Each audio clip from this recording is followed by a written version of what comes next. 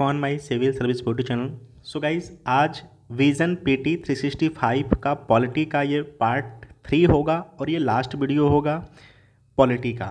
One year का जो compilation series चल रहा है सो so, जो रिसोर्स है vision P T three sixty five है। अगर आप मार्केट से आप उसको अवेलेबल है तो प्लीज़ वहाँ से भी आप उसको पढ़ सकते हैं। अगर आपको एनालिसिस के साथ चीज़ों को करना है तो यहाँ पे चीज़ें चल रही हैं। आप इसको यहाँ से भी डील कर सकते हैं। अगर वीडियो आपके एग्ज़ाम के रिलेवेंट हैं, लगता है कि एग्ज़ाम में ये डिस्कशंस यूजफुल हैं रिकॉल हम कर सकते हैं तो प्लीज़ आप इस वीडियो का छोटा सा शॉर्ट नोट्स ज़रूर बनाएँ। तो जो पॉलिटी का सब्जेक्ट है, उसका यह पार्ट थ्री है आज, और यह लास्ट वीडियो है पॉलिटी का। इसमें हमारा विज़न 365 का टोटल डिस्कशंस कंप्लीट आज हो जाएगा।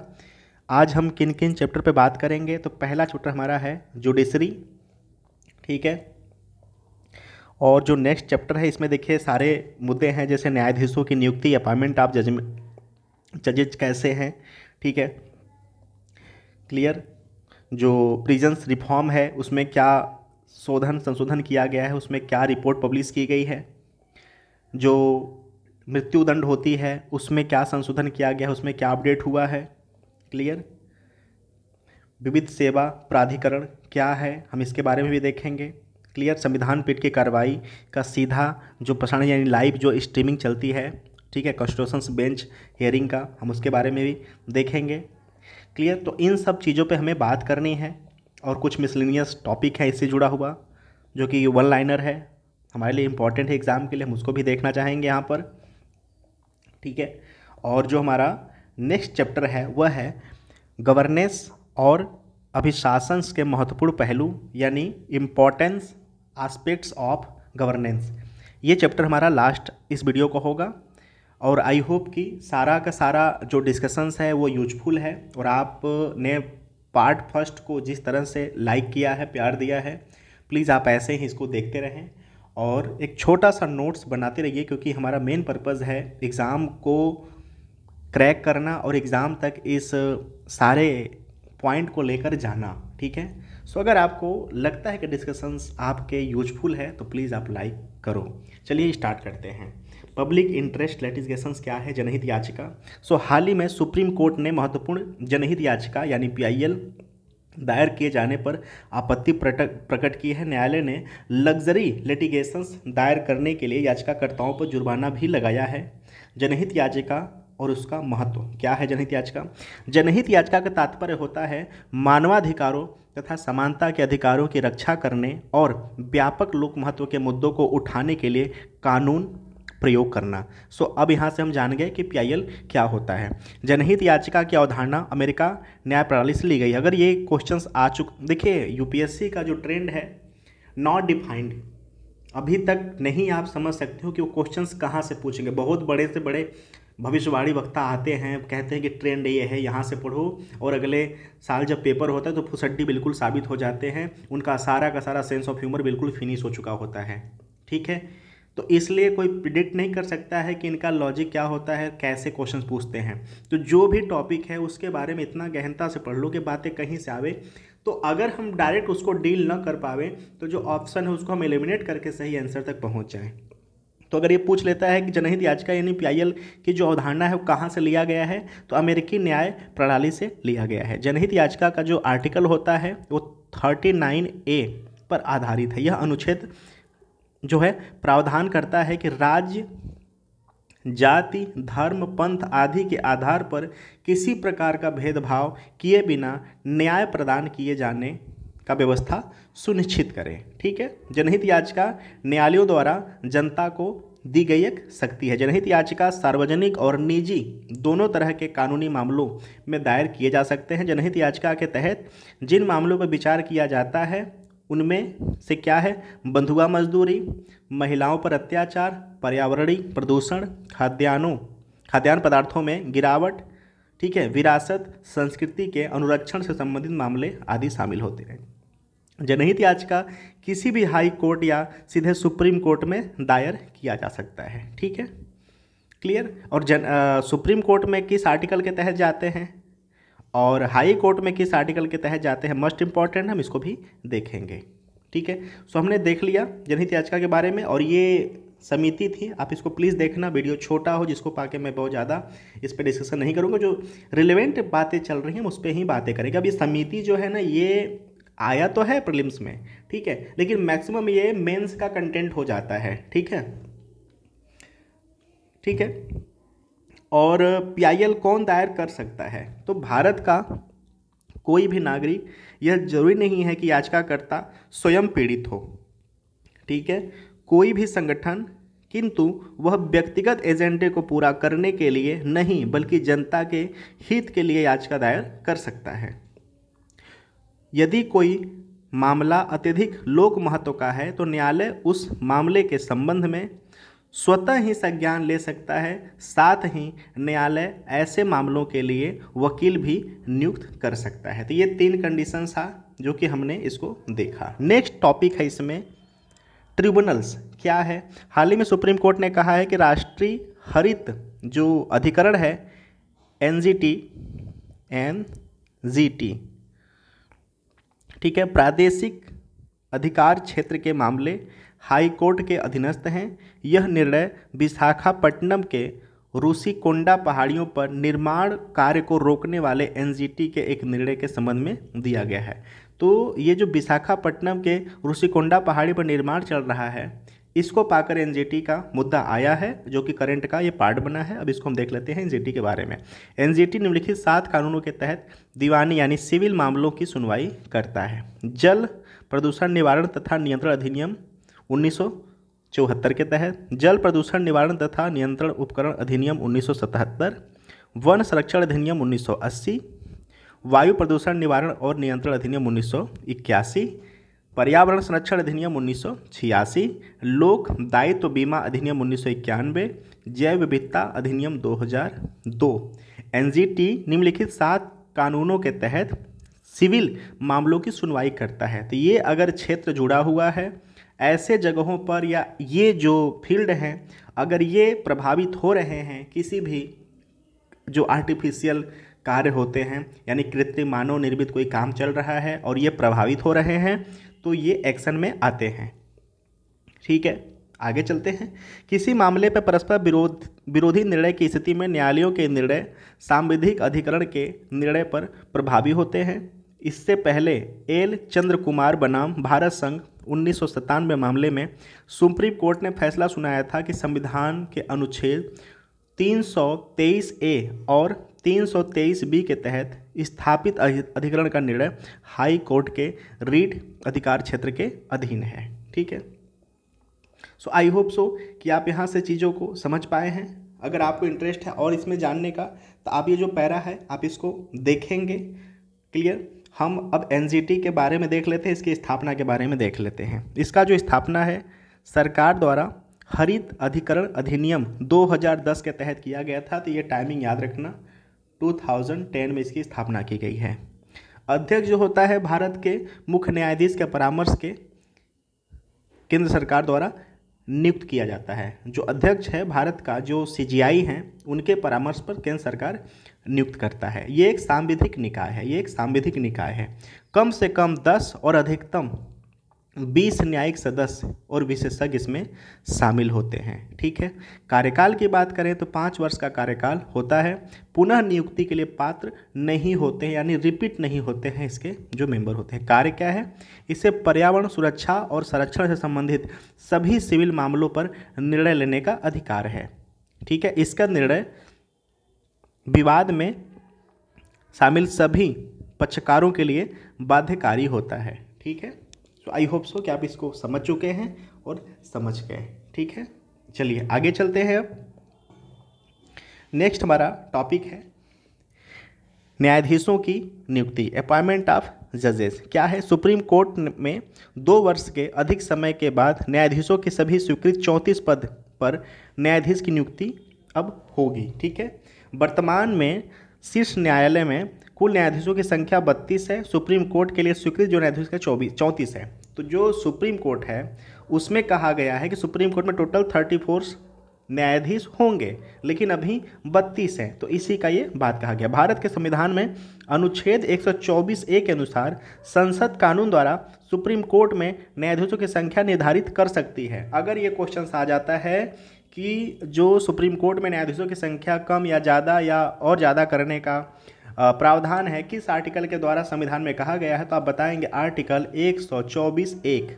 आर्टिकल 124 एक। अगर आप वीडियो को देख रहे हैं तो प्लीज़ कहीं पे नोट डाउन ज़रूर कर लीजिए। मस्ट इंपॉर्टेंट ये आर्टिकल है। आर्टिकल 124 ए के द्वारा जो संसद है, वो प्रावधान कर सकता है जजोज की संख्या के लिए, ठीक है? न्यायाधीशों की नियुक्ति। भारत के मुख्य न्यायाधीश जो सीजीआई हैं और सुप्रीम कोर्ट के अन्य न्यायाधीशों की जो नियुक्ति है, अनुच्छेद 124 दो के तहत राष्ट्रपति द्वारा कोलेजियम प्रणाली के माध्यम से किया जाता है। यहाँ तो हमने देखा कि जजोज की जो संख्या है, कम ज़्यादा का, आर्टिकल 124 एक। लेकिन उनकी जो नियुक्ति है, सीजीआई उनके समेत बाकी सुप्रीम कोर्ट न्यायाधीश तो आर्टिकल 124 दो, आर्टिकल 124 दो उनकी नियुक्ति की बातें की जाती है।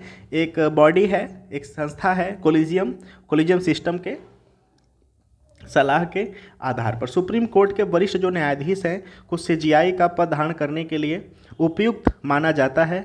वर्तमान सीजीआई द्वारा अगले सीजीआई का नाम का भी सिफारिश किया जाता है। कॉलेजियम एक ऐसी प्रणाली है, जहाँ एक समिति सुप्रीम कोर्ट और हाई कोर्ट के न्यायाधीशों की नियुक्ति और स्थानांतरण से संबंधित निर्णय लेती है। इस समिति में भारत के मुख्य न्यायाधीश यानी सीजीआई, सुप्रीम कोर्ट के चार वरिष्ठतम न्यायाधीश और हाई कोर्ट के तीन सदस्य, हाई कोर्ट की नियुक्ति जहाँ होनी है, में शामिल होता है। देखिए, यहाँ पर बातें क्या कहा जा रहा है? यहाँ पर बातें ये कहा जा रहा है कि जो कोलिजियम सिस्टम है, कोलिजियम सिस्टम में जो भारत के मुख्य न्यायाधीश हैं, यानी सीजीआई की बात की जा रही है, चीफ जस्टिस ऑफ़ इंडिया की बातें की जा रही है, प्लस मुख्य न्यायाधीश के साथ साथ सुप्रीम कोर्ट के चार वरिष्ठतम न्यायाधीश। ठीक है? चार कौन? जो वरिष्ठ न्यायाधीश हैं। किसके? सुप्रीम कोर्ट के। ये निर्णय लेते हैं कि किसका नियुक्ति होना है, सुप्रीम कोर्ट में किसका नियुक्ति नहीं होना है। ठीक है? उसके बाद ये राष्ट्रपति को अपना अनुशंसा देते हैं और राष्ट्रपति उनको प्रधान कराते हैं। ये तब होता है जब सुप्रीम कोर्ट की बातें होती है। अगर वहाँ पे हाई कोर्ट के जजों की नियुक्ति की बातें आ जाती हैं तो वहाँ पर क्या होता है कि जो हाई कोर्ट के तीन सदस्य होते हैं, उनको भी यहाँ पे शामिल किया जाता है और हाई कोर्ट के किस तीन सदस्यों को जिस हाई कोर्ट में अपॉइंटमेंट होना होता है, ठीक है? तो यहाँ सब समझ गए कि हाई कोर्ट की बातें होती हैं तो जिस हाई कोर्ट में नियुक्ति की बातें होती हैं, वहाँ के हाई कोर्ट के तीन जो वरिष्ठतम न्यायाधीश होते हैं, उनकी वहाँ पर सम्मिलित किया जाता है। कोलियम सिस्टम में और अगर सुप्रीम कोर्ट की बातें आती हैं तो सुप्रीम कोर्ट के न्यायाधीशों को शामिल करके राष्ट्रपति को भेजा जाता है कि भाई हम इनको नियुक्त करना चाहते हैं, ठीक है? हाई कोर्ट कोलिजियम का नेतृत्व वर्तमान मुख्य न्यायाधीश और उस न्यायालय के दो वरिष्ठतम न्यायाधीश करते हैं, ठीक है? चलिए, नेक्स्ट टॉपिक हमारा है कारागार जेल, यानी कारागार, यानी जेल सुधार क्या है, यानी प्रिजन्स रिफॉर्म क्या है? हाल ही में राष्ट्रीय अपराध रिकॉर्ड ब्यूरो एनसीआरबी ने भारत में कारागार सांख्यिक रिपोर्ट दो हज़ार इक्कीस जारी की है। कारागारों के बारे में संबंधित कुछ तथ्य हैं। कारागार में रखे गए व्यक्ति राज्य सूची का विषय है। ये क्वेश्चंस इंपॉर्टेंट है। ये एस्पेक्ट्स इंपॉर्टेंट है। सॉरी क्वेश्चंस नहीं। ये लाइन बहुत इंपॉर्टेंट है। प्लीज़ आप नोट डाउन कर लेना कि जो कारागार होता है, उसमें जो रखे गए व्यक्ति होते हैं, वह किसके विषय होते हैं? समर्थी सूची के विषय होते हैं। ठीक है? संघ सूची के विषय होते हैं, राज सूची के तो वो राज सूची के विषय हैं, ठीक है? कामगारों का प्रशासन और प्रबंधन संबंधी राज्य सरकारों का उत्तरदायित्व होता है, ये कारागार अधिनियम अट्ठारह और संबंधित राज्य सरकारों के कारागार नियमावलियों द्वारा शासित होता है। अगर ये बात भी पूछेगा कि उनको किस अधिनियम के द्वारा ये शक्ति दी गई है, पावर दिया गया है तो कारागार अधिनियम अट्ठारह कारागार अधिनियम, मैं नोट कर दे रहा हूँ, ठीक है? कारागार अधिनियम अट्ठारह ठीक है? और राज्य सरकार के कारागार नियमावली के द्वारा शासित है। गृह मंत्रालय कारागारों और वहाँ बंद कैदियों से संबंधित विविध समस्याओं पर राज्यों एवं केंद्र शासित प्रदेशों और संघ शासित प्रदेशों को नियमित मार्गदर्शन और सलाह प्रदान करता रहता है, ठीक है? राष्ट्रीय अपराध रिकॉर्ड ब्यूरो, एनसीआरबी। अपराध और अपराधियों के बारे में सूचना के प्रसार केंद्र के रूप में कार्य करता है। ठीक है? अंतर्राज्यीय और अंतर्राष्ट्रीय अपराधियों के बारे में सूचना का संग्रह, समन्वय और प्रस, ठीक है? सो आप ये लाइन भी याद रखना कि जो एनसीआरबी है वो अंतर्राज्यीय के साथ साथ अंतर्राष्ट्रीय अपराधियों के बारे में भी सूचना का संग्रह और समन्वय और प्रसार करना होता है। ठीक है? क्राइम रिकॉर्ड ब्यूरो के कर्मचारियों को प्रशिक्षण सूचनाएँ प्रदान करना होता है।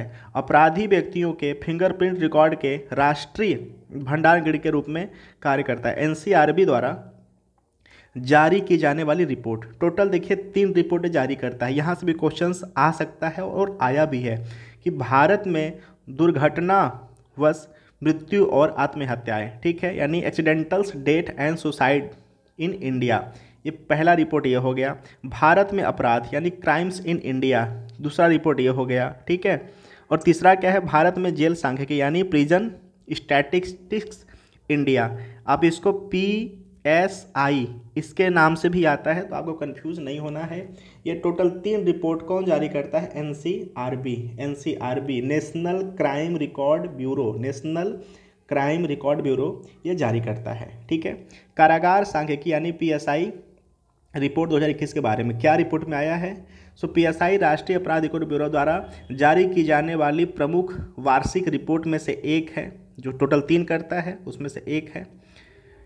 इस रिपोर्ट में विविध प्रकार के आंकड़े प्रदान किए जाते हैं, जैसे कि अलग अलग प्रकार के कारागारों की संख्या और उनकी क्षमता, कारागार सांख्यिकियों की संख्या व प्रशिक्षण, कारागार व बजट पर व्यय आदि। रिपोर्ट के मुख्य बिंदुओं क्या क्या हैं? जो विचाराधीन हैं, ठीक है, जो अंडर ट्रायल कैदी हैं, की जो उच्च संख्या है, भारतीय कारागारों में प्रत्येक दस में से आठ कैदी अपनी सुनवाई का इंतज़ार कर रहा है। ठीक है? ये रिपोर्ट का पार्ट है। उत्तर प्रदेश के कारागारों में विचाराधीन कैदियों की संख्या सर्वाधिक है। जो अंडर ट्रायल कैदी हैं, ठीक है उनकी संख्या सबसे ज़्यादा पूरे भारत में किस राज्य में है? तो यूपी में है। ये आप याद रखेंगे। ये यूपी पीसीएस के लिए भी इम्पोर्टेंट कंटेंट हो जाता है। इसके बाद बिहार और महाराष्ट्र। जो विचाराधीन कैदी हैं, यानी जो अंडर अंडर ट्रायल कैदी हैं, उनकी सबसे ज़्यादा संख्या अगर कहीं पे है तो उत्तर प्रदेश, फिर बिहार यूपी फिर बिहार, उसके बाद महाराष्ट्र। ठीक है? ये आपको याद रखना है। वंचित वर्गों के कैदी। Sixty seven point five percent जो कैदी हैं वो अनुसूचित जाति, अनुसूचित जनजाति और अन्य पिछड़े वर्ग समुदायों से यानी यस, जो जो पूरे कैदी हैं, ठीक है, उनमें से जो वंचित वर्ग के कैदी हैं, वो 67.5 परसेंट कैदियों में कौन कौन है? एस सी और ओ बी सी। विचाराधीन कैदियों में से 80 परसेंट समाज के वंचित वर्गों के हैं। ठीक है? तो कहीं ना कहीं हमारे डेवलपमेंट ऑफ़ इंडिया को भी दिखाता है कि हमारा भारत किस दिशा में जा रहा है। और जब इस एक वंचित वर्ग के ही कैदी विचाराधीन हैं तो आखिर क्या कारण है कि भारत का जो सबसे ज़्यादा आबादी है, इन्हीं एस सी, एस टी और ओ बी सी को मिलकर हमारे भारत का सबसे ज़्यादा पॉपुलेशन है और यही सबसे ज़्यादा विचाराधीन कैदियों की संख्या है तो क्या कारण है इसमें क्या सुधार किया जा सकता है? ठीक है? बजट एवं बुनियादी ढांचा 2021-22 के लिए स्वीकृत बजट में 2020-21 की तुलना में तेरह दशमलव ज़ीरो परसेंट की वृद्धि की गई है। ठीक है? कामगारों का आधुनिकरण परियोजना के बारे में। भारत सरकार ने कामगारों के अत्याधुनिक सुरक्षा उपकरणों का उपयोग करने के लिए, ठीक है, एमओपी, यानी कारागारों का आधुनिकरण ठीक है के माध्यम से राज्यों और संघ क्षेत्रों को निम्नलिखित के लिए तीन वित्तीय सहायता अनुदान सहायता के रूप में प्रदान करने का निर्णय लिया है। कारागारों की सुरक्षा बढ़ाना सुरक्षात्मक प्रशासन कार्यक्रमों के माध्यम से कैदियों के सुरक्षा और पुनर्वास कार्य को सु, सुविधाजनक बनाना इस परियोजना की अवधि पाँच वर्ष यानी 2021 से 26 तक के लिए करना। तो ये आप याद रखना डेट 2021 से 2026 ठीक है?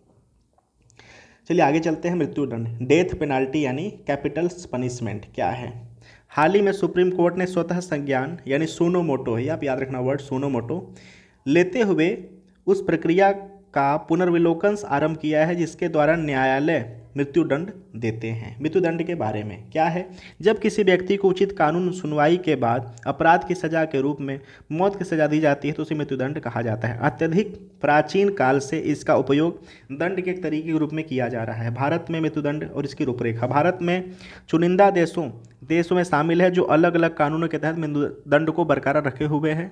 ठीक है? 2021 के अंत तक चार सौ अट्ठासी यानी फोर एट्टी एट ऐसे कैदी जिन्हें मृत्युदंड की सज़ा दी गई है। आप ये टाइमिंग भी याद रखना कि 2021 के अंत तक अगर बात करें तो चार सौ अट्ठासी यानी फोर एट्टी एट कैदी ऐसे हैं जिनको मृत्युदंड की सज़ा सुनाई गई है। मृत्युदंड को बनाए रखने, रखते हुए अधिक कानूनों को भी प्रसारित, प्रस्तावित किया गया है। जैसे कि पंजाब और मध्य प्रदेश में जहरीली शराब पीने से होने वाली मृत्यु के लिए, जहरीली शराब बेचने वाले व्यापारियों के लिए, उन, ठीक है, के लिए ऐसा प्रावधान किया गया। 1980 में बच्चन सिंह बनाम पंजाब राज्यवाद में सुप्रीम कोर्ट के न्यायाधीशों ने अंतर्निहित उचित प्रतिक्रियात्मक सुरक्षा उपयोगों, उपायों और इस प्रक्रिया के कारण मृत्युदंड की संवैधानिकता वैधता को बरकरार रखा है, जो कि न तो मनमानी है और न ही न्यायाधीशों की अत्यधिक विवेका अधिकार में है। हालाँकि इसे भविष्य में दंड देने के न्यायाधीशों के लिए आजीवन कारावास,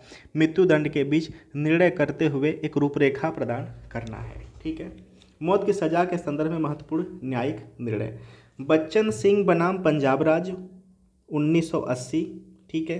कोर्ट के लिए यह अनिवार्य है कि वह फांसी की सजा देने का फैसला सुनाने से पहले उत्तेजक परिस्थितियों व अपराध का तुलनात्मक परीक्षण करें। केवल रेयरेस्ट ऑफ़ द रेयर यानी दुर्लभ मामलों में ही मृत्युदंड का उपयोग किया जाएगा। ये बातें कहाँ कहा गया है? बच्चन सिंह, बनाम, पंजाब राज्यवाद 1980 आप इसको याद रखेंगे। माछी सिंह, बनाम, पंजाब राज्यवाद उन्नीस सौ तिरासी। अपराध को अंजाम देने के तरीके, मकसद, अपराध की असामाजिक प्रकृति, अपराध की गंभीरता और पीड़ित के व्यक्तित्व की पहचान। ये उन्नीस तिरासी। आप इसको याद रखेंगे। नेक्स्ट है, शत्रुघ्न चौहान बनाम पंजाब, सॉरी, भारत संघवाद 2014 मौत की सज़ा के क्रियान्वयन में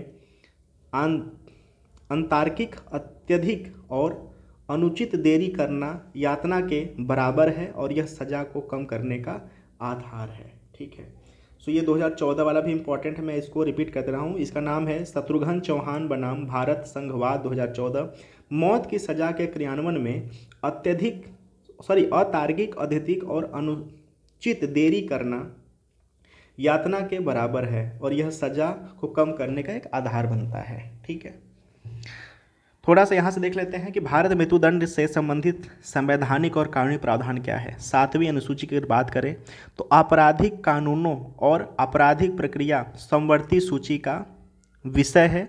इसके चलते मृत्युदंड से सुनवाई, संबंधित सुनवाई कानून मौजूद एक बात यहाँ पर याद रखना। देखिए, जो सातवीं अनुसूची है, इसमें शक्तियों का बंटवारा किया गया है। राज्य, संघ, ठीक है? और समवर्ती। एक बात याद रखना है कि अपराध जो कैदी होते हैं, कारागार होता है, वह किसका विषय है? राज्य का। ठीक है? यहाँ पे बात क्या की जा रही है कि अपराध कानून और आपराधिक प्रक्रिया समवर्ती सूची का विषय है। इसके चलते मृत्युदंड से संबंधित कई कानून मौजूद है। तो इन दोनों में आपको कन्फ्यूज़ नहीं होना है। वहाँ पे कारागार जो है, वो राज्य सूची का विषय है। और यहाँ पर समवर्ती सूची की बातें की जा रही हैं।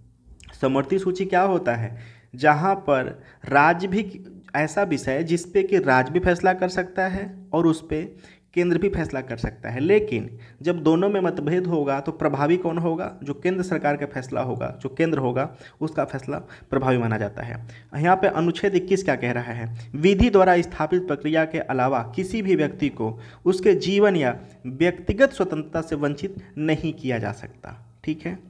आर्टिकल 72 क्या कहता है? इसमें राष्ट्रपति और आर्टिकल 161 क्या कहता है? राज्यपाल को क्षमा दान करने की शक्ति का उल्लेख है। अगर राष्ट्रपति की बात करें तो जो पार्डन पावर है 72 के द्वारा है।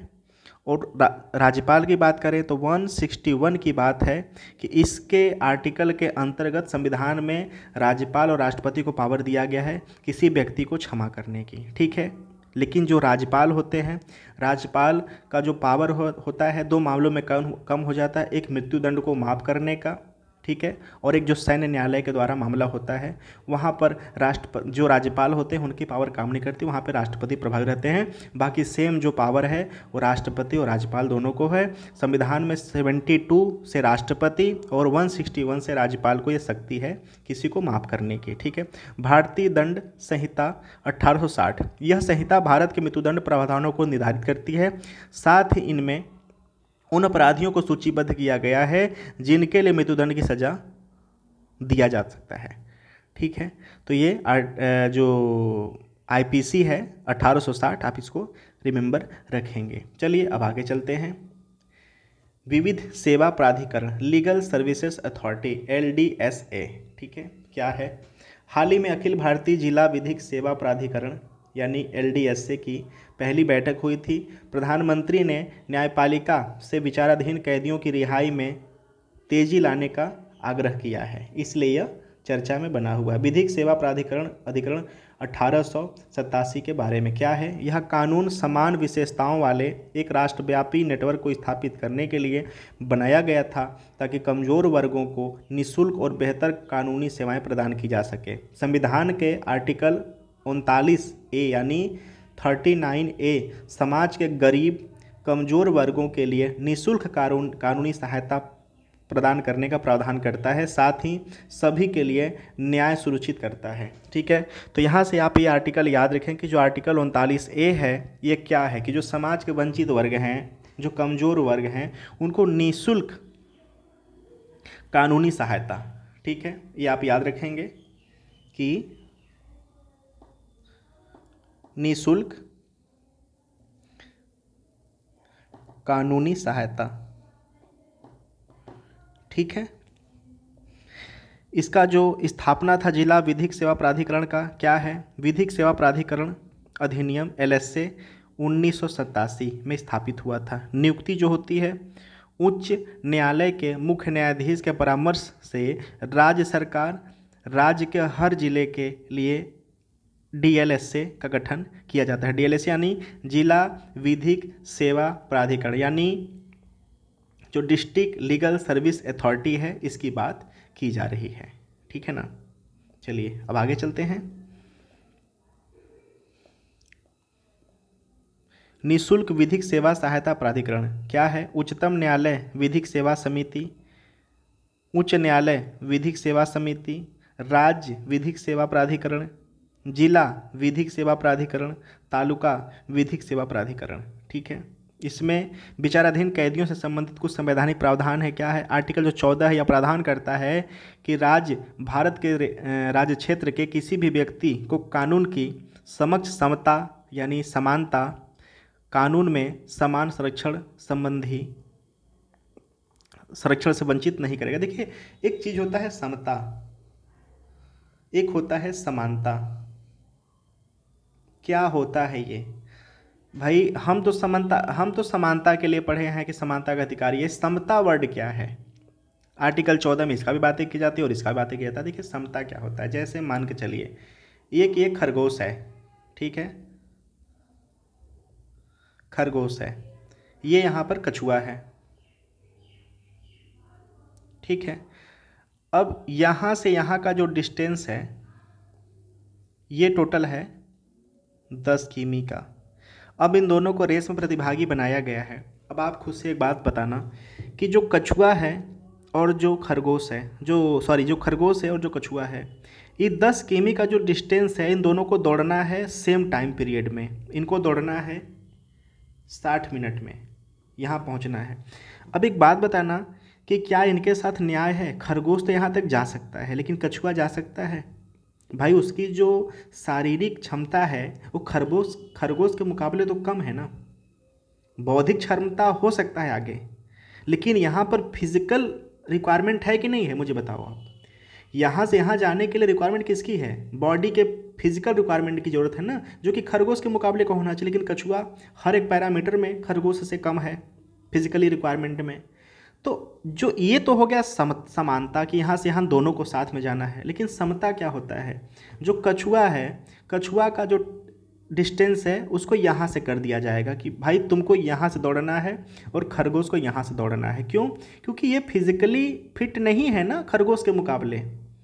तो कछुआ यहाँ से दौड़ेगा, खरगोश यहाँ से दौड़ेगा। ये जो गैप है, इस गैप को इनकी जो बॉडी का रिक्वायरमेंट है बॉडी रिक्वायरमेंट का जो फिटनेस का गैप है, उस गैप को ख़त्म करने के लिए इनको इतना दिया गया है आरक्षण रिजर्वेशन कि भाई तुमको यहाँ से खड़ा होना है, या तुम्हारे बॉडी के रिक्वायरमेंट का जो व्यक्ति होगा, उसको यहाँ से खड़ा होना होगा, और खरगोश के पैरामीटर के जो व्यक्ति उसको होंगे, उसको यहाँ से खड़ा होना पड़ेगा। तो इसको कहते, इस प्रोसेस को कहते हैं समानता। सॉरी समता समता कहते हैं। तो ये है समता और ये है समानता। ठीक है ना? अब आगे चलते हैं।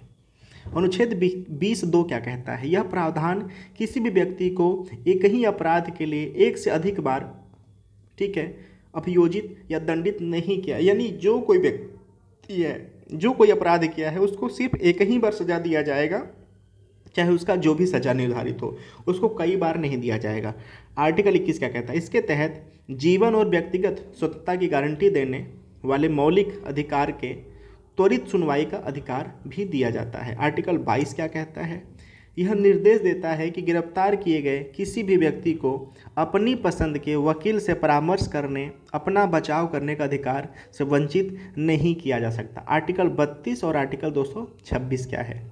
जो घोषित करता है कि कोई भी व्यक्ति अभियुक्त, जिसे त्वरित सुनवाई के लिए अधिकार से वंचित किया गया है, वह इसके तहत लागू करवाने उद्देश्य से सुप्रीम कोर्ट और हाई कोर्ट जा सकता है। आर्टिकल बत्तीस, thirty two supreme court. Article जो 226 है, इसके तहत वह हाई कोर्ट त्वरित जा सकता है, ठीक है?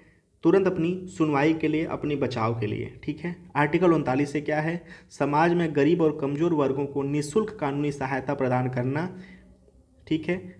एवं सभी के लिए न्याय सुनिश्चित करना, ठीक है? तो आप ये आर्टिकल भी याद रखेंगे और आई होप सो कि आपको आर्टिकल बत्तीस और आर्टिकल दो सौ छब्बीस पता होता है और पता होगा, ठीक है? संविधान पीठ की कार्रवाई का सीधा प्रसारण live streaming of constitution bench hearing क्या है? हाल ही में सुप्रीम कोर्ट ने पहली बार अपनी संवैधानिक पीठ की सुनवाई का सीधा प्रसारण किया है। सुप्रीम कोर्ट की कार्रवाई का सीधा प्रसारण के बारे में, सुप्रीम कोर्ट की कार्रवाई का सीधा प्रसारण ई कोर्ट परियोजना के तहत तीन चरण का हिस्सा है। ई कोर्ट परियोजना, न्यायपालिका में सूचना और संचार प्रौद्योगिकी का उपयोग करने को बढ़ावा देने का एक पहल है। 2018 में स्वप्निल त्रिपाठी बनाम सुप्रीम कोर्ट मामले में शीर्ष न्यायालय ने निर्णय दिया था कि अदालती कार्रवाई का सीधा प्रसारण संविधान के अनुच्छेद दो, इक्कीस के तहत न्याय तक पहुँचने का अधिकार है। अगर आप ये बात कहें कि भाई किस आर्टिकल के तहत ये पब्लिक किया जाता है स्ट्रीमिंग डिबेट तो आर्टिकल 21 और इसके लिए सुप्रीम कोर्ट ने क्या बोला? कि न्याय तक पहुँचने का अधिकार। ठीक है? न्याय तक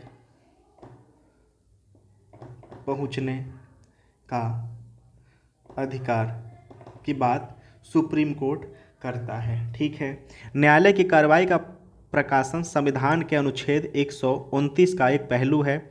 इस अनुच्छेद के अनुसार सुप्रीम कोर्ट अभिलेख न्यायालय यानी कोर्ट ऑफ़ रिकॉर्ड की बात करता है, ठीक है? वर्तमान में छः हाई कोर्ट, गुजरात, उड़ीसा, कर्नाटक, झारखंड, पटना और मध्य प्रदेश अपने यूट्यूब चैनल के माध्यम से अदालती कार्रवाई का सीधा प्रसारण कर रहे हैं, ठीक है?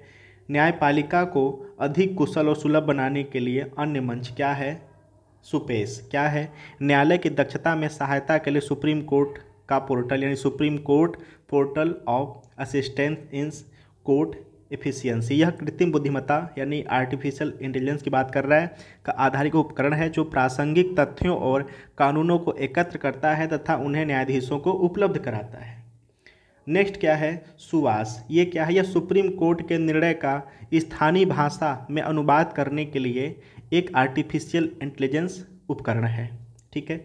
फास्ट प्रणाली, ये क्या है? इलेक्ट्रॉनिक रिकॉर्ड्स का तेज और सुरक्षित ट्रांसमिशन, यानी fast and secure transmission of electronics record, ठीक है?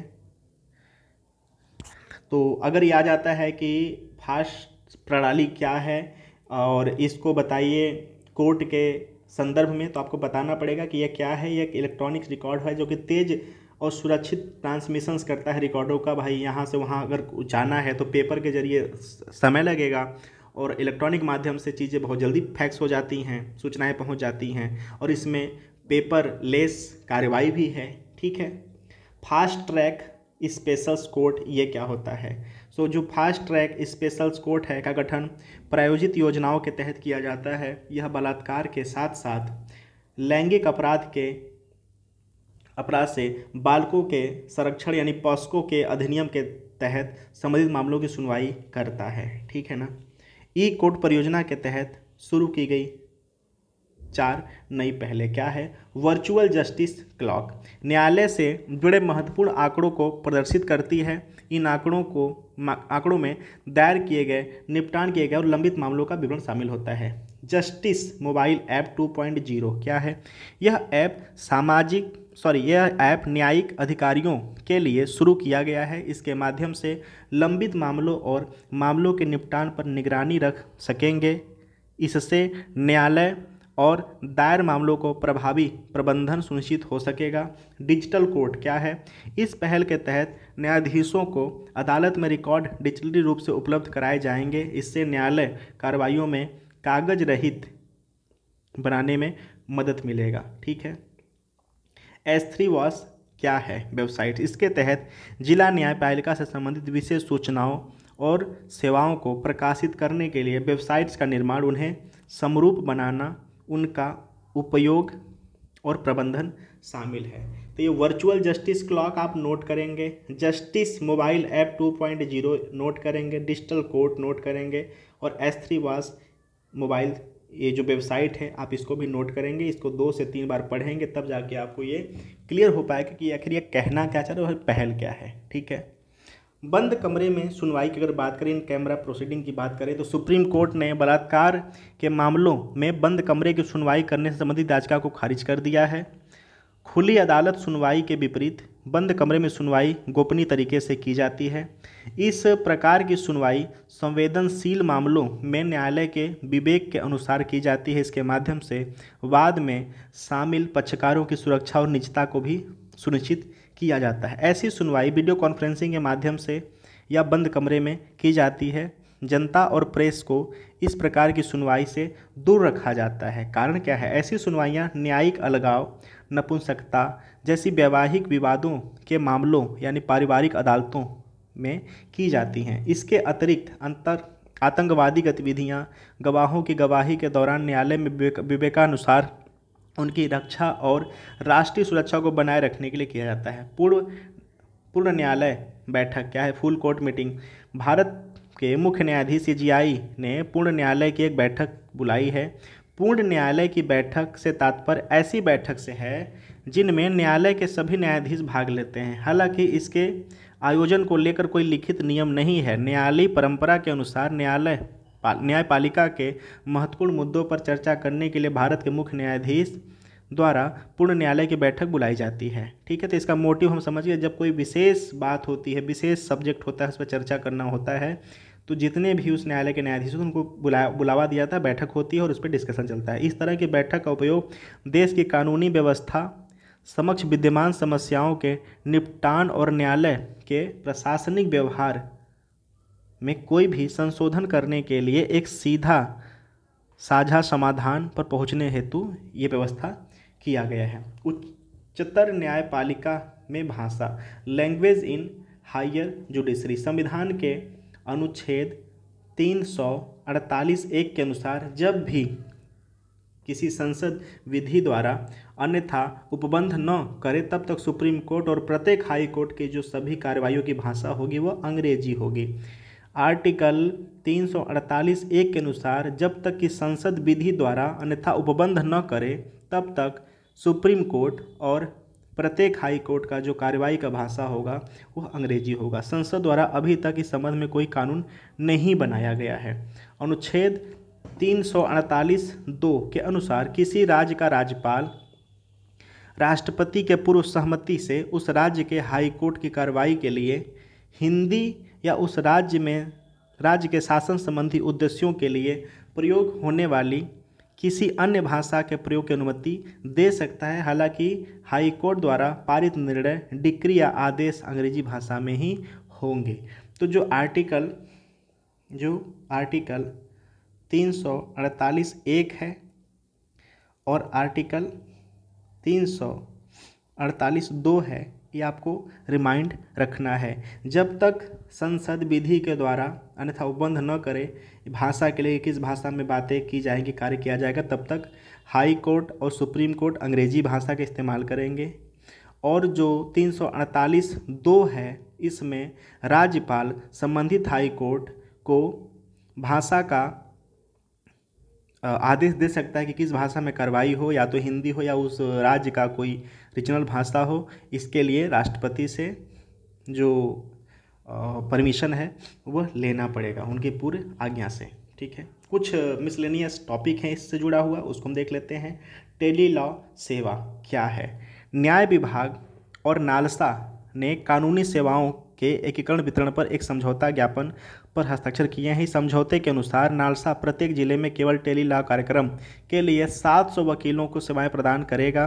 पैनल में शामिल किए गए वकील रेफरल वकीलों के रूप में भी काम करेंगे। यह मुकदमेबाजी से पहले के चरण में विवाद से बचने में सहायता करेंगे। साथ ही विवाद समाधान तंत्र को भी मज़बूत करेंगे। टेली लॉ जो पहल है 2017 में विधि और न्याय मंत्रालय के अंतर्गत न्याय विभाग ने शुरू किया था तो इसका टाइमिंग 2017 आप याद रखेंगे। यह पहल एक विश्वसनीय और कुशल ई इंटरफेस प्रदान करती है। यह मुकदमेबाजी से पहले विवाद समाधान का उपाय को सुझाती है, ठीक है?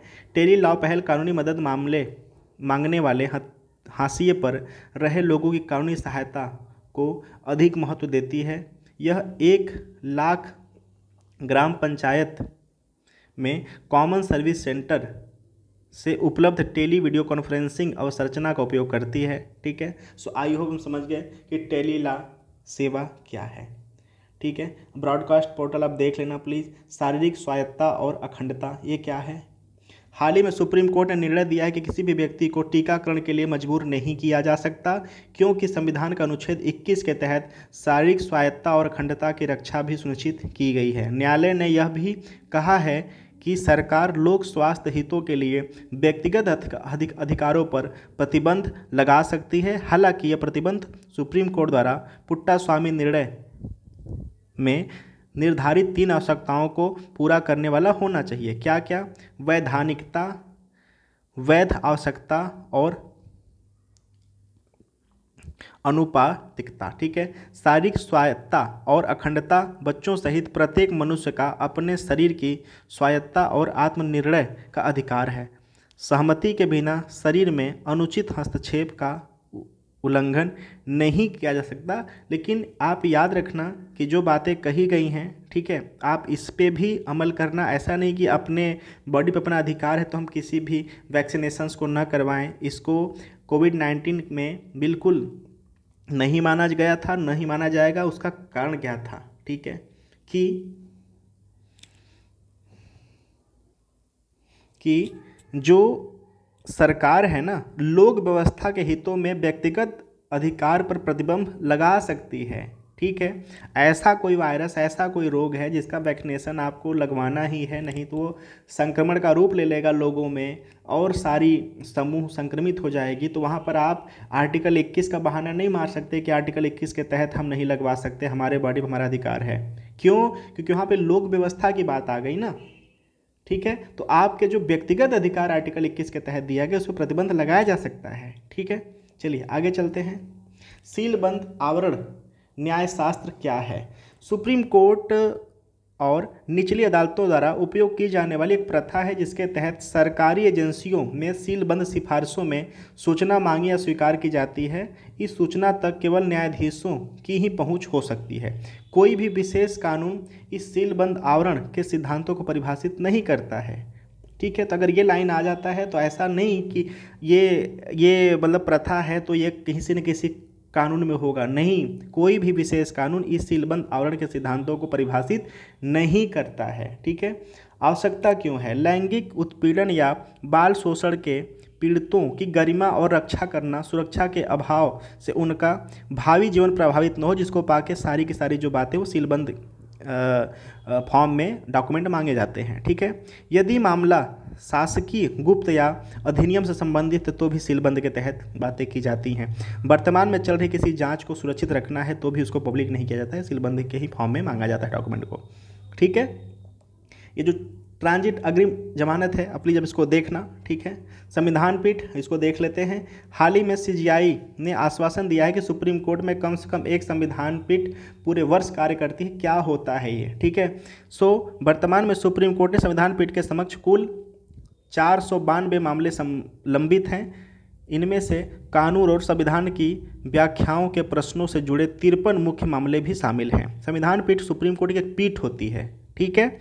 इनमें से पाँच या अधिक न्यायाधीश किसी मामले की सुनवाई करते हैं। तो संविधान पीठ हम समझ गए कि क्या होता है। वर्तमान में लगभग गठन आवश्यकता पड़ने पर भारत के मुख्य न्यायाधीश द्वारा अस्थायी आधार पर किया जाता है। संविधान पीठों को पीठों का जो गठन है केवल तभी किया जाता है जब निम्नलिखित में से एक या अधिक परिस्थितियाँ मौजूद हो। क्या क्या? संविधान का अनुच्छेद एक जब किसी मामले में संविधान की व्याख्या से संबंधित कानून या कोई महत्वपूर्ण प्रश्न शामिल हो। दूसरा क्या है? आर्टिकल एक सौ पैंतालीस तीन। जब भारत का राष्ट्रपति अनुच्छेद एक के तहत किसी तथ्य या कानून के प्रश्न पर सुप्रीम कोर्ट से राय लेता है या राय मांगे, ठीक है? जब किसी कोर्ट को दो या तीन न्यायाधीशों वाली पीठ कानून के समान प्रश्न पर परस्पर विरोधी निर्णय देती है, तब एक पीठ द्वारा अंतिम निर्णय लेने की आवश्यकता होता है और आवश्यक हो जाता है। नेक्स्ट क्या है? जब तीन न्यायाधीशों की पीठ द्वारा एक दिए गए किसी निर्णय पर वाद या तीन न्यायाधीशों के एक पीठ का संदेह व्यक्त करती है तो वह पीठ फैसले के पुनर्विचार के लिए मामले को एक बड़ी पीठ को भेजती है और भेजने का निर्णय लेती है। तो ये हो गया हमारा संविधान पीठ। तो हम समझ गए कि संविधान पीठ क्या होता है और सुप्रीम कोर्ट किसके तहत इसको गठन करती है। ठीक है? याचिका को न्यायालय में खारिज कर दिया हो। उप चलो सॉरी सॉरी, ये तो इसका पार्ट हो गया। चलिए, आप इसको प्लीज़ देख लेना। या चलिए, एक बार देख लेते हैं। उपरचनात्मक याचिका क्या है? तो उपरचनात्मक याचिका, उस व्यक्ति के लिए उपलब्ध अंतिम संवैधानिक उपाय है, जिसकी पुनर्विचार याचिका को न्यायालय ने खारिज कर दिया हो। उपरचनात्मक याचिका या संविधान में कोई उल्लेख नहीं है, यह अवधारणा सुप्रीम कोर्ट ने रूपा अशोक हुर्रा बनाम, अशोक हुर्रा और अन्य वाद में लिया है तो ये आप नाम याद रखेंगे। ठीक है?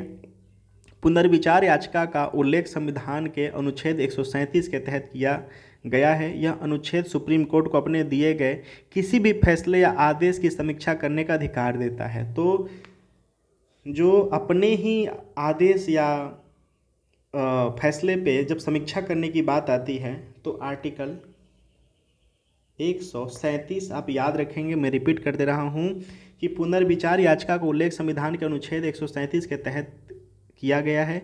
यह अनुच्छेद सुप्रीम कोर्ट को अपने ही किसी फैसले या आदेश की समीक्षा करने का अधिकार देता है, ताकि न्याय की विफलता को रोका जा सके, सही निर्णय सही लोगों तक पहुँचे, ठीक है?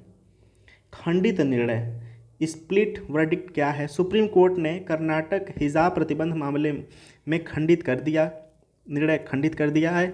जब किसी मामले में पीठ सर्वसम्मति से अपना बहुमत में निर्णय नहीं ले पाती तो उस स्थिति में खंडित निर्णय दिया जाता है। आमतौर पर महत्वपूर्ण मामलों के लिए जो न्यायाधीशों की विस, विषम संख्या तीन पाँच सात आदि को पीठों का गठन किया जाता है। जिस मामले में खंडित निर्णय दिया जाता है उस मामले की सुनवाई भारत के मुख्य न्यायाधीश सीजीआई द्वारा गठित एक बड़ी पीठ के द्वारा करती है। ठीक है? ये आप देख लेना। ठीक है? मैं भारत का जो विधि आयोग है इसको देखते हैं एलसीआई ठीक है?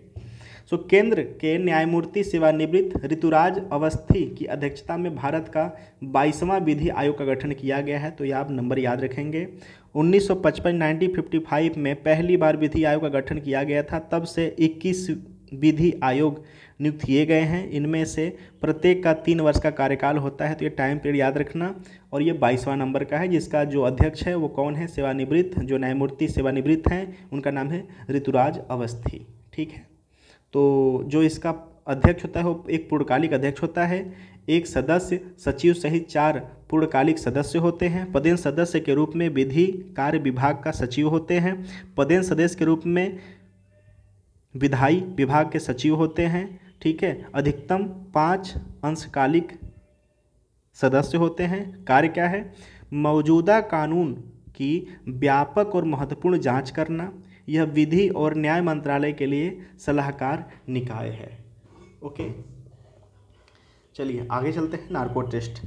नार्को या नार्को एनालिसिस टेस्ट में सोडियम पेंटोथल नामक दवा को आरोपी के शरीर में इंजेक्ट किया जाता है और यह उसे एक कृत्रिम निद्रावस्था या अचेतन अवस्था में ले जाती है। सोडियम पेंटोथल या सोडियम थियोपेंटल एक जल्द असर करने वाली तथा कम अवधि की एनेस्थेटिक यानी चेतना शून्य करने वाली औषधि है। यह दवा के बारबी बारबीट्यूरेट वर्ग से संबंधित है। यह एनेस्थेटिक अवसाद औषधि के रूप में केंद्रीय तंत्रिका तंत्र को प्रभावी प्रभाव डालती है।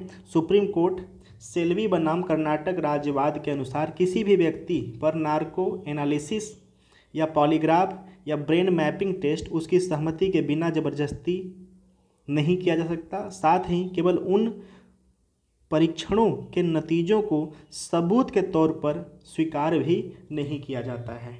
ठीक है? राष्ट्रीय स्वचालित फिंगरप्रिंट प्रणाली क्या है? हाल ही में गृह मंत्रालय ने राष्ट्रीय स्वचालित फिंगरप्रिंट प्रणाली, ठीक है, की शुरुआत की है। सो आप इसको याद रखना कि N F N A F I S से नाम से भी आता है तो आप इसको याद रखेंगे। ठीक है? क्लियर? अब इसका अगर नाम पूछता है तो आप इसका नाम भी बताएँगे, ठीक है, कि क्या होता है इसका होता है national automated fingerprint identification system मैं रिपीट कर दे रहा हूँ, national national automated automated fingerprint print identifications fications system ठीक है?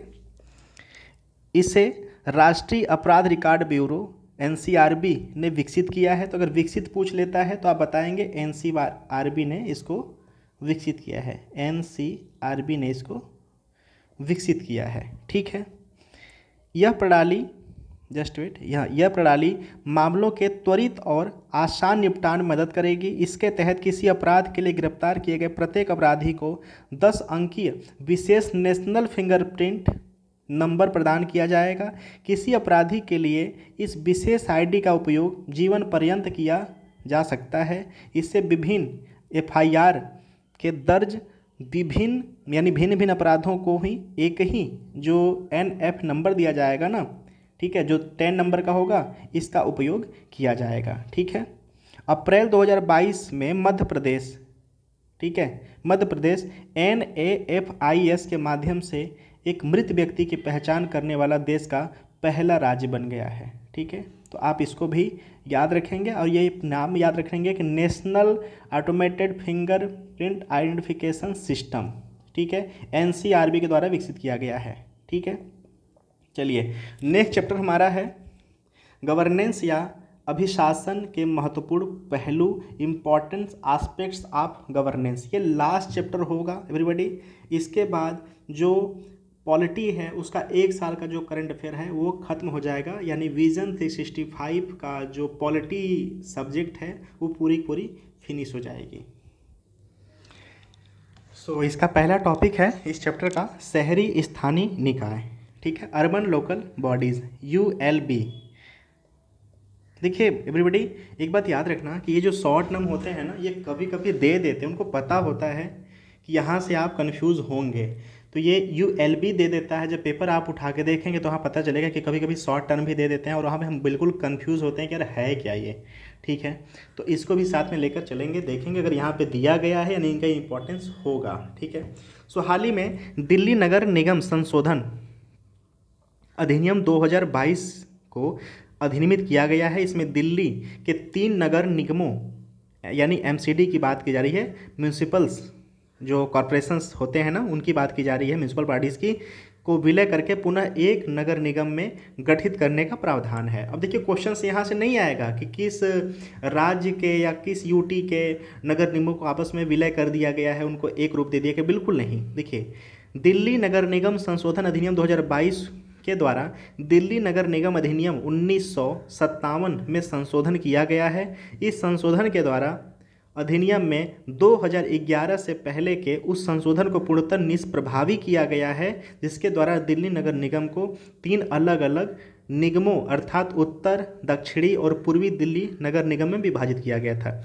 इस विभाजन को सर्वप्रथम उन्नीस सौ सतासी में गृह मंत्रालय द्वारा गठित बाल कृष्ण समिति के द्वारा प्रस्तावित किया। देखिए क्वेश्चन यहाँ से भी उठ सकता है वो कौन सी समिति थी जिसके द्वारा प्रस्तावन पास किया गया था, ठीक है? साथ ही 2001 में वीरेंद्र प्रकाश समिति के रिपोर्ट में इसे पुनः बल प्रदान किया गया था और संविधान के अनुच्छेद दो सौ उनतालीस ए ए के तहत संसद को किसी भी मामले पर कानून बनाने का अधिकार है, इससे ऐसे विषय भी शासित हैं जिन पर कि विधानसभा कानून बना सकती है। क्वेश्चंस आना होगा यूपी, यूपीएससी में तो यहाँ से भी आ सकता है और स्टेट पीसीएस में क्वेश्चंस यहाँ से भी आ सकता है और समिति का नाम भी पूछ सकता है। तो आपको ये चीज़ें याद रखना है कि जो हमारे संविधान का जो आर्टिकल है दो सौ उनतालीस, two thirty nine A clause A A के तहत संसद को किसी भी मामले पर कानून बनाने का अधिकार होता है और अधिकार है।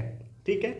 इसमें ऐसे विषय भी शामिल हैं जिन पर भी विभाजन सॉरी विधानसभा कानून बना सकते हैं। यानी क्या कहना जा रहा है कि राज्य सूची का अगर कोई विषय है, उस पर भी हमारा जो संसद है, वह कानून बना सकता है। समर्थी सूची पे तो बनाता ही बनाता है। तो देखिए, बात वहाँ पर, वहाँ अनुसूची सात से भी रिलेट करेंगे। ठीक है? चलिए, आगे चलते हैं। नगर निगमों के बारे में। नगर निगम भारत की शहरी स्थानीय स्तर पर संचारी सरकार का एक रूप है। दस लाख से अधिक आबादी वाले महानगरों के विकास के लिए कार्य करते हैं। तो नगर निगम का पैरामीटर भी याद रखना, दस लाख वाला, ठीक है? इन्हें महानगर पालिका, नगर पालिका, नगर निगम, नगर परिषद द्वारा आदि भी इनको कहा जाता है, ठीक है? ऐतिहासिक पृष्ठभूमि की बात करें तो जो पहला नगर निगम था उन सॉरी सोलह सौ में मद्रास में स्थापित किया गया था। ये क्वेश्चंस कई बार आ चुका है, ठीक है? आप इसको भी याद रखेंगे। जो भारत का पहला नगर निगम था 1688 में मद्रास में स्थापित किया गया था। बाद में 1726 में बॉम्बे और कलकत्ता इसी तरह के नगर निगमों की स्थापना की गई थी। भारत के वायसराय लॉर्ड रिपन, जिनका कार्यकाल 1880 से चौरासी के बीच का था, नगर निगमों में निर्वाचन की शुरुआत की गई थी, ठीक है? और इसलिए भारत में स्थानीय स्वशासन के अगर किसी को जनक कहा जाता है, पिता कहा जाता है तो लॉर्ड रिपन को कहा जाता है। ये आप नाम भी याद रखेंगे, लॉर्ड रिपन, जिनका कार्यकाल 1880 से चौरासी का था, ठीक है? एक सामान्य ढांचा प्रदान करने व स्वशासन की प्रभावी इकाइयों के रूप में कार्य करने हेतु स्थानीय निकाय को सुदृढ़ करने के लिए सेवेंटी फोर अमेंडमेंट ठीक है, उन्नीस सौ बानबे के द्वारा इसको स्टेबल किया गया था, ठीक, और संविधान का जो भाग नाइन ए है, के द्वारा इसको शामिल किया गया था, ठीक है। आगे चलते हैं। स्थानीय स्वशासन के संस्थाओं की लेखा परीक्षा, जो कैग है सी ए जी ठीक है? आर्टिकल 148 जिला स्तर पर अपनी उपस्थिति का विस्तार करने की योजना बना रही है। इसके पीछे उद्देश्य त्रिस्तरीय, यानी पंचायती राज संस्थाओं की लेखा परीक्षा व्यवस्था पर नियंत्रित, नियंत्रण स्थापित करना चाहती है, ठीक है? करना चाह रही है। वर्तमान में कैग के कार्य, जो कार्यकाल हैं, राज्यों की राजधिकारी, राजधानियों में स्थित है। कैग का जो महालेखागार कार्यालय राज्य के सरकारों के लेखाओं के लेखा परीक्षण के लिए जिम्मेदार है। ठीक है? अब प्राप्त जानकारी के अनुसार जो कैग है, अब सभी सरकारी खर्चों की निगरानी के लिए अपने संवैधानिक अधिकारों का उपयोग करने का फैसला किया है। भले ही व्ययों के लिए, यानी जो खर्चे हुए हैं, धन संचित निधि से या राजकोषी से निकाला गया हो। तो ये कहीं ना कहीं बहुत अच्छा पहल मान सकते हैं कि इनका जो विस्तार है, अब जो भारत का जो त्रिस्तरीय लेयर है, पंचायती राज, वहाँ तक भी अब जा रहा है लेखा परीक्षण करने के लिए। अगर कै की बात करें, ठीक है तो राष्ट्रपति के द्वारा नियुक्ति होती है, कार्यकाल छः वर्ष का होता है, अधिकतम छः वर्ष का और पैंसठ वर्ष आयु का होता है। सेवा शर्त की बात करें तो सुप्रीम कोर्ट के वर्तमान न्यायाधीश के समान की सेवा शर्तें होती हैं। कैग संघ और राज्य तथा विधान सभा वाले केंद्र शासित प्रदेशों की लेखाओं, प्राप्तियों और व्ययों का लेखा परीक्षा नहीं ऑडिट करता है? यह ऐसे प्राधिकारियों सॉरी प्राधिकरणों या निकायों के लेखाओं को भी लेखा परीक्षा करता है, जिन पर संसद के कानून लागू होते हैं, जो केंद्र या राज्यों के राजस्व से वित्त पोषित होते हैं, उनको भी ये देखते हैं। ठीक है? सो आई होप सो कि हमने इसको देखा और विस्तार से समझा कि क्या पूरा का पूरा मामला है, ठीक है?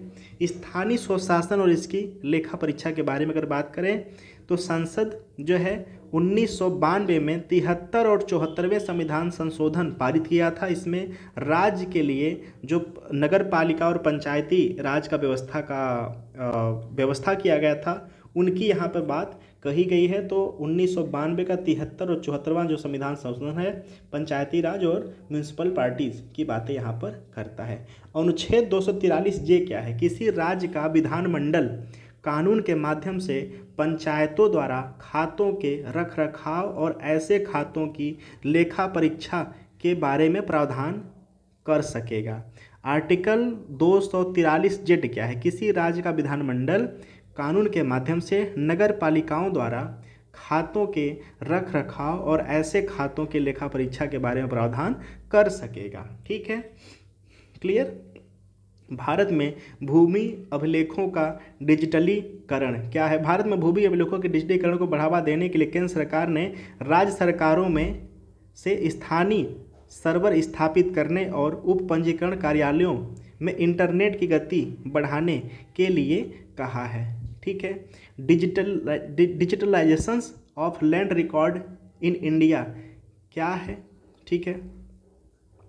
तो इसके बारे में डिजिटल इंडिया भूमि अभिलेख आधुनिक कार्यक्रम। सरकार डिजिटल इंडिया भूमि अभिलेख, जो आधुनिकरण कार्यक्रम है D I L R M P ठीक है? इसका जो उद्देश्य है, क्या है? अपडेट करने, अपडेट किए गए भूमि अभिलेखों, रिकॉर्ड्स की एक प्रणाली शुरू करना, स्वचालित और स्वतः दाखिल खारिज नामांतरण की शुरुआत करना, लिखित एवं स्थानीय रिकॉर्ड्स का एकीकरण। देखिए, ये मल्टीपल चॉइस में भी आ सकता है, ठीक है? राज्य व पंजीकरण के बीच आपसी जुड़ाव के लिए एक प्रणाली शुरू करना, वर्तमान अभिलेख, ठीक है, के पंजीकरण अनुसार अनुनिश्चित स्वामित्व अधिकार वाले प्रणालियों के स्थान पर शामिल अधिकार की गारंटी वाली निर्विवाद स्वामित्व अधिकार प्रणाली की शुरुआत करना, ठीक है? जो D I L R M P है, क्या है ये? इसको आप बार बार पढ़ना ताकि आपके रिमाइंड में बातें सुरक्षित रहें कि डिजिटल इंडिया भूमि अभिलेख आधुनिकरण कार्यक्रम, ठीक है? यह 2016 में शुरू की गई केंद्रीय क्षेत्र की यह योजना है, ठीक है? इसके टोटल तीन प्रमुख घटक हैं, क्या हैं? भूमि अभिलेखों का कंप्यूटरीकरण, सर्वेक्षण, पुनः सर्वेक्षण और पंजीकरण का कंप्यूटरीकरण, ठीक है? भारत में भूमि वास्तविक स्वामित्व को कैसे मान्यता दी जाती है? भारत में भूस्वामी को अलग अलग दस्तावेज़ के माध्यम से मान्यता दी जाती है, जिसमें शामिल है क्या? रिकॉर्ड्स ऑफ़ राइट्स अधिकार का अभिलेख, भूमि धारक का नाम, भूखंडों की संख्या, उनका आकार, राजस्व दर, कृषि भूमि के लिए, जैसे कि विवरण शामिल होते हैं। नेक्स्ट है, पंजीकृत बिक्री अभिलेख। ठीक है? क्या है? इसमें यह साबित हो सक, हो सकता है कि संपत्ति एक व्यक्ति से दूसरे व्यक्ति को बेची गई है और ऐसी बिक्री पर करों का भुगतान किया गया है। ठीक है? तो आई होप कि आप इसको रिमाइंड रखेंगे। भूमि क्या है? जो भूमि परियोजना है, यह केंद्र और कर्नाटक सरकार द्वारा संयुक्त रूप से वित्त पोषित एक परियोजना है। इसका उद्देश्य कर्नाटक में कागज़ी भूमि अभिलेखों का डिजिटलीकरण करना और भूमि रजिस्ट्री में हुए परिवर्तन को दर्ज करने के लिए एक सॉफ्टवेयर प्रणाली तैयार करना। तेलंगाना की धरनी परियोजना क्या है? ठीक है। सो, जो डेटा है, डेटा को व्यक्तिगत भूखंड के मानचित्र के साथ एकीकृत करना। तो ये आप याद रखें कि भू नक्शा क्या है? ठीक है? भूमि क्या है? धरनी क्या है? तो ये राज्य का नाम के साथ भी आपसे बातें पूछी जा सकती हैं, ठीक है? सतत विकास लक्ष्यों का स्थानीयकरण। आई होप कि आप ये पढ़ लेंगे, देख लेंगे। जो एस होते हैं, वो सत्रह, उसके टोटल टारगेट लक्ष्य हैं सब्जेक्ट हैं। एक समुच्चय है, एक लंबी गरीबी उन्मूलन, असमानता, अन्याय के विरुद्ध संघर्ष तथा 2030 तक जलवायु परिवर्तन से निपटने के लिए संबंधित है। एस को 2015 में संयुक्त राष्ट्र सतत विकास शिखर सम्मेलन में अपनाया गया था। तो ये आप याद रखेंगे कि जो एस है, ठीक है? एस है 2015 में संयुक्त, ठीक है? संयुक्त राष्ट्र संयुक्त राष्ट्र सतत विकास शिखर सम्मेलन। ठीक है? के द्वारा अपनाया गया था भारत में। स्थानीय विकास नीति का एक लंबा ढांचा प्रदान करने हेतु एस का प्रयोग करना है। ठीक है? चलिए, आगे चलते हैं। एक भारतीय प्रशासनिक सेवा आई अधिकारी का इस्तीफा और उसकी पुनर्बहाली के नियम क्या है? 2019 में आई पद से इस्तीफा देने वाले एक अधिकारी पुनर्बहाल कर दिया गया है।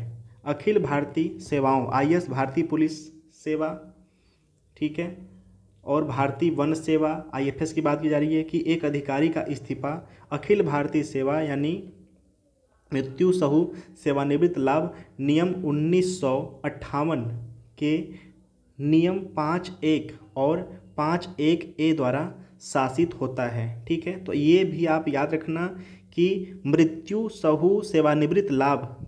ठीक है? उन्नीस सौ अट्ठावन, यानी death cum retirement benefits D C R B ninety fifty eight के पाँच एक और पाँच एक ए द्वारा शासित होता है। अन्य केंद्रीय सेवाओं से संबंधित अधिकारियों के इस्तीफे के लिए भी इसी तरह के नियम हैं। इस्तीफा प्रस्तुतिकरण के बाद वापस लेने का नियम क्या होता है?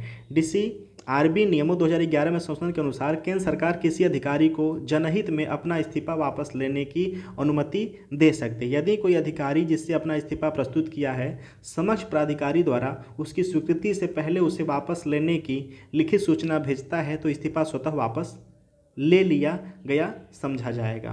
केंद्र सरकार द्वारा इस्तीफा वापस लेने का अनुरोध स्वीकार नहीं किया जाएगा। यदि एक सदस्य किसी एक राजनीतिक दल या किसी भी संगठन से जुड़ा हो और राजनीति में भाग लेता हो। एक सदस्य किसी भी राजनीतिक आंदोलन या राजनीतिक गतिविधि में भाग लेता है या किसी अन्य तरीके में से सहायता करता है या किसी विधायिका या स्थानीय प्राधिकरण के चुनाव के संबंध में प्रचार करता है या या अपने प्रभाव का उपयोग करता है या भाग लेता है। ठीक है? एक आई अधिकारी का इस्तीफा प्रस्तुत किया जाना चाहिए। राज्य में सेवारत अधिकारियों के मामले में राज्य मुख्य सचिव के समक्ष एक अधिकारी जो केंद्रीय प्रतिनियुक्ति पर है और मामले से संबंधित मंत्रालय या विभाग के सचिव के समकक्ष, ठीक है? तो आई होप कि आप इसको समझ चुके हैं और समझ समझ रहे हैं कि क्या बात की जा रही है। आई के संबंध में कार्मिक और प्रशिक्षण विभाग डीओपीटी में राज्य मंत्री से संबंधित जुड़ा होता है और इनके इस्तीफे की जो भी प्रोसीजर होता है, नियुक्ति की वो देखते हैं। आईपीएस के संबंध में गृह मंत्री, वन सेवा के संबंध में पर्यावरण, वन और जलवायु परिवर्तन मंत्री इस मामले को देखते हैं, ठीक है? तो आई होप कि इसको समझ के मैं इसको रिपीट कर रहा हूँ कि संबंधित संवर्ग राज्य की अनुशंसा प्राप्त होने के बाद ही समक्ष जो प्राधिकारी या केंद्र सरकार के अधिकारी इस्तीफा पर विचार किया जाता है या करता है। तो आई के लिए अगर इस्तीफा की बात की जा रही है तो डीओपीटी विभाग देखता है, ठीक है। आईपीएस के लिए गृह मंत्री का डिपार्टमेंट देखता है और वन सेवा आईपीएस की बात किया जाता है तो जलवायु पर्यावरण, वन और जलवायु परिवर्तन मंत्री का ये डिपार्टमेंट होता है, ठीक है। मिशन कर्मयोगी क्या है? हमारे लिए इंपॉर्टेंट है। एक एकीकृत सरकारी ऑनलाइन प्रशिक्षण प्लेटफॉर्म है। इसके तहत सभी कर्मचारी को उनकी रैंक के ध्यान में रखे बिना उनके कार्य क्षेत्रों के आधार पर निरंतर प्रशिक्षण प्रदान किया जाता है। ठीक है? इसका उद्देश्य न्यू इंडिया के विज़न के अनुसार उचित दृष्टिकोण, कौशल और ज्ञान के साथ भविष्य के लिए तैयार सिविल सेवा का निर्माण करना है। आरंभ क्या है? इसे भारत सरकार ने शुरू किया है। यह सिविल सेवकों के प्रशिक्षण के लिए प्रथम कॉमन फाउंडेशंस कार्यक्रम है। राष्ट्रीय प्रशिक्षण नीति, इसे उन्नीस सौ छियानवे में अपनाया गया था।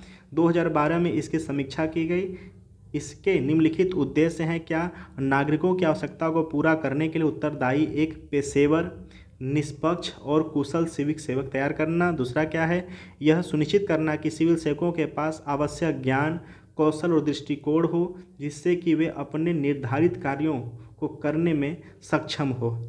लेटरल इंट्री इसके तहत केवल पदोन्नति के माध्यम से नियमित सेवल सेवकों को नियुक्त करने की बजाय प्रशासनिक पदनाक्रम के मध्य वरिष्ठ स्तर पर संबंधित कार्यक्षेत्र के विशेषज्ञों को प्रत्यक्ष रूप से शामिल करना। यानी बात लेटेंट में कहा जा रहा है, बहुत ये मुद्दा भी बना था चर्चा का कि ऐसा नहीं कि एक आई एस ही सचिव पद पर जाएगा, किसी भी डिपार्टमेंट में और अपने अनुभव को शेयर करेगा।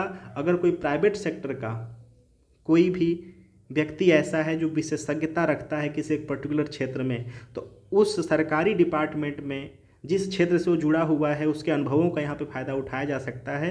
यानी प्राइवेट सेक्टर से किसी पर्सन को यहाँ पर ला करके या किसी विशेषज्ञ पर्सन को ला करके सचिव पद पे रख के उनके अनुभवों का देश को फ़ायदा दिया जा सकता है। ठीक है? पुलिस आयुक्त प्रणाली क्या है? सो, आगरा गाज़ियाबाद प्रयागराज में पुलिस आयुक्त प्रणाली लागू की जाएगी और कहाँ कहाँ किया जा चुका है? तो लखनऊ, नोएडा कानपुर वाराणसी में किया जा चुका है। ठीक है? क्या होता है दोनों में अंतर? ठीक है। तो देखिए, जो पुलिस आयुक्त प्रणाली है, यहाँ पर जो शहर में जो पुलिस बल की कार्य प्रणाली के लिए उत्तरदायी होता है, ठीक है? जो पुलिस आयुक्त होता है, एकीकृत पुलिस कमान संरचना का प्रमुख होता है, वह शहर के पुलिस बल की कार्य प्रणाली के लिए उत्तरदायी होता है। राज्य सरकार वह राज्य पुलिस के प्रमुख के प्रति जवाबदेह होता है, जो पुलिस आयुक्त होता है। सीपी के पद पर उप महानिरीक्षक या उसके ऊपर के रैंक वाले अधिकारी की नियुक्ति की जाती है। उसे विशेष संयुक्त अपर उपायुक्त द्वारा सहायता प्रदान की जाती है। ऐसे पुलिस अधिकारी के पास निवारक गिरफ्तारी यानी सीआरपीसी की जो अधिनियम की धारा 144 है, लागू करने और आवश्यकता अनुसार कार्रवाई करने की शक्ति होती है, ठीक है? लेकिन जो नॉर्मल जगहों पे जो व्यवस्था है, यानी दोहरी कमान प्रणाली डीसीएस है, वहाँ पर जो 144 की धारा है वह डीएम के अंतर्गत, डिस्ट्रिक्ट मजिस्ट्रेट के अंतर्गत आता है। इस पद को डिस्ट्रिक्ट मजिस्ट्रेट की शक्तियाँ व कर्तव्य प्राप्त होते हैं, ठीक है? यानी ये बात कहा जा रहा है कि जो दोहरी जो ये पुलिस आयुक्त प्रणाली यानी कमिश्नरेट सिस्टम है, यहाँ पर जो पुलिस डिपार्टमेंट है, उसको डिस्ट्रिक्ट मजिस्ट्रेट की शक्तियाँ व कर्तव्य भी प्राप्त होते हैं यह शक्तियाँ विनिमय, नियंत्रण और लाइसेंसिंग से संबंधित होते हैं। पुलिस सुधारों पर सुझाव देने के लिए गठित अलग अलग समितियों ने 10 लाख से अधिक आबादी वाले शहरों में पुलिस आयुक्त प्रणाली स्थापित करने की सिफारिश की है। जो नॉर्मल जैसे व्यवस्था चलती आ रही है, दोहरी कमान प्रणाली यानी पुलिस प्रशासन और डिस्ट्रिक्ट मजिस्ट्रेट का जो शासन होता है, वहाँ पर क्या बात किया जा रहा है कि इस प्रणाली के तहत ज़िले में जिला मजिस्ट्रेट और पुलिस अधीक्षक एसपी शक्तियों के जिम्मेदार साझा करते हैं। दोनों लोग शक्तियों का डीएम को गिरफ्तारी, वारंट व लाइसेंस जारी करने का कार्य सौंपा जाता है, जबकि एसपी के पास अपराध की जाँच करने और गिरफ्तारी करने की शक्ति एवं जिम्मेदारियाँ होती हैं। इस व्यवस्था को शक्तियों के केंद्रीकरण को कम करने और जिला स्तर पर पुलिस को डीएम के प्रति अधिक जवाबदेह बनाने का इस के लिए स्थापित किया गया है। तो दोनों का देखिए, हमने अंतर समझ लिया कि थोड़ा सा पावर का बंटवारा हो जाता है इन दोनों में, ठीक है? चलिए, आगे चलते हैं। मेघालय उद्यम स्थापत्य परियोजना क्या है? हाल ही में मेघालय की ई प्रस्ताव प्रणाली में संयुक्त राष्ट्र पुरस्कार world summit on the informations society forum 2022 प्राप्त किया है। मेघ ई ए परियोजना का उद्देश्य डिजिटल प्रौद्योगिकियों की शक्ति का उपयोग करने वाले लोगों के लिए सेवा विवरण और अभिशासन का में सुधार करना है। इसे इलेक्ट्रॉनिक्स और सूचना प्रौद्योगिकी मंत्रालय तथा मेघालय सरकार के संयुक्त रूप से लॉन्च किया गया है। तो ये आप याद रखना। ठीक है? इसका जो लक्ष्य है 2030 तक मेघालय को एक उच्च आय वाला राज्य बनाना है। यह अपनी तरह की पहली परियोजना है जो भारत के राष्ट्रीय उद्यम स्थापत्य फ्रेमवर्क पर आधारित है। ठीक है? मेघ, ई, ए, ये आप याद रखना। गवर्नेंस, पर्यावरण, अवसंरचना, प्राथमिक क्षेत्र, उद्यमशीलता और मानव संसाधन 2030 तक 2030 तक मेघालय को एक उच्च आय वाला राज्य बनाने के लिए टारगेट के लिए शुरू किया गया है। ठीक है? आई होप सो आप इसको देखेंगे। जो चीज़ मैं छोड़ रहा हूँ इंपॉर्टेंट ऐसा नहीं कि नहीं है। आप इसको प्लीज़ देखेंगे। विश्व बैंक का वर्ल्ड वाइड गवर्नेंस इंडिकेयर्स क्या है?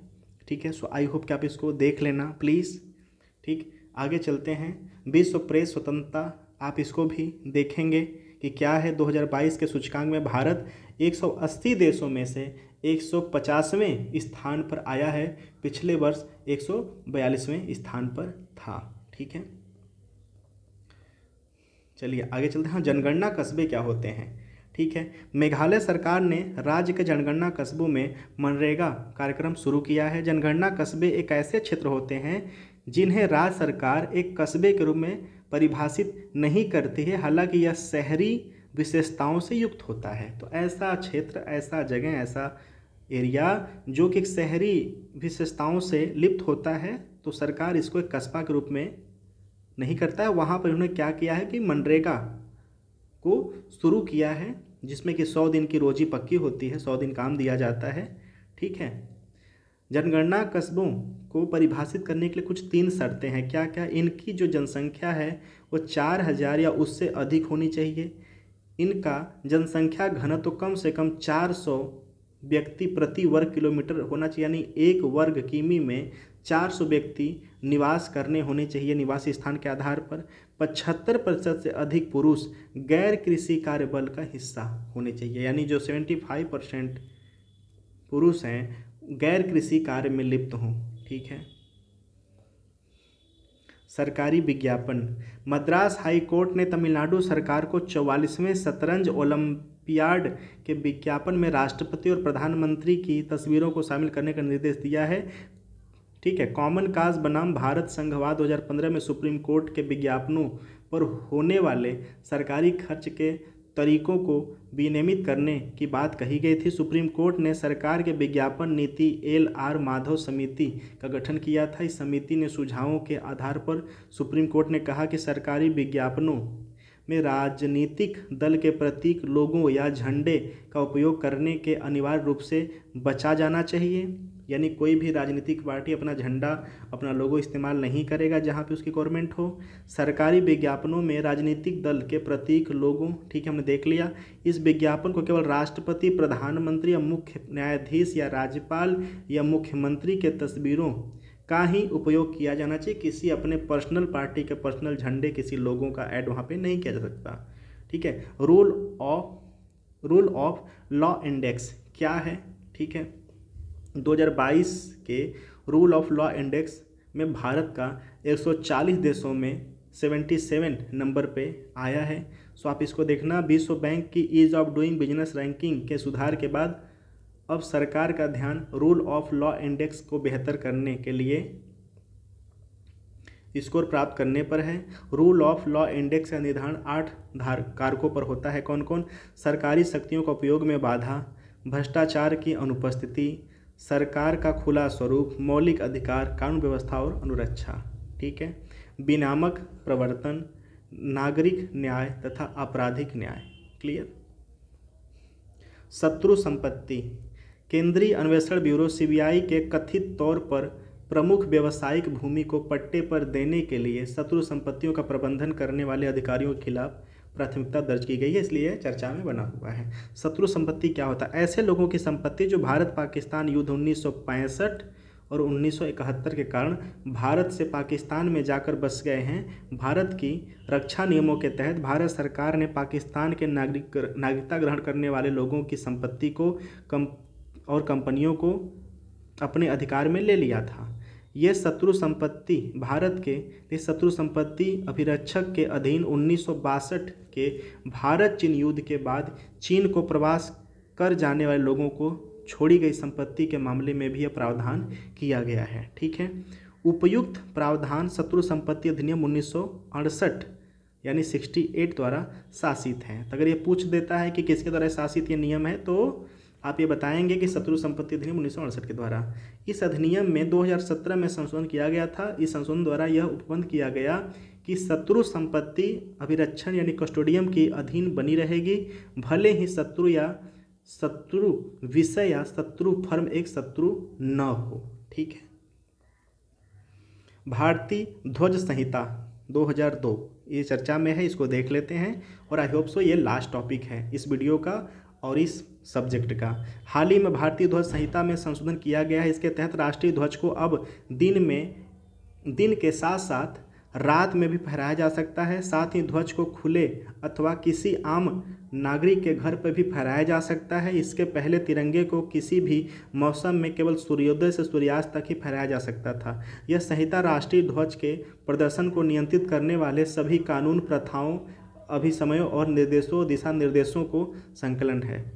यह निजी सार्वजनिक और सरकारी संस्थानों द्वारा राष्ट्रीय ध्वज के प्रदर्शन को नियंत्रित करती है। इसके अलावा तिरंगे की कीमत में कटौती करने के लिए एफ़ सी आई दो हज़ार दो को भी सुधार किए गए हैं। संशोधन राष्ट्रीय ध्वज के उत्पादन में मशीन निर्मित पॉलिस्टर का उपयोग करने की अनुमति प्रदान की गई है। करते हैं।